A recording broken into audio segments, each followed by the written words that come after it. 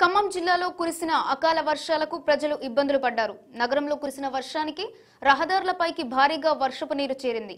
Drainage కాలువ నీరు పొంగి రోడ్లపైకి వర్షపు నీరు చేరడంతో వాహనదారులు ఇబ్బందులు పడ్డారు. ప్రధానంగా పాత బస్ స్టేషన్ ముస్తాఫానగర్ గాంధీ చౌక్ ప్రాంతంలో రోడ్లపై వర్షపు నీరు నిలిచిపోయింది. చిరు వ్యాపారులకు వర్షం ఆటంకం కలిగించింది. మరోపక్క అకాల వర్షాలతో రైతులు మార్కెట్కు తెచ్చిన పంట తడిసిపోకుండా జాగ్రత్తలు తీసుకున్నారు. మార్కెట్లోని షెడ్డులకు మిర్చి బస్తాలను తరలించి రైతులు ఊపిరి పీల్చుకున్నారు.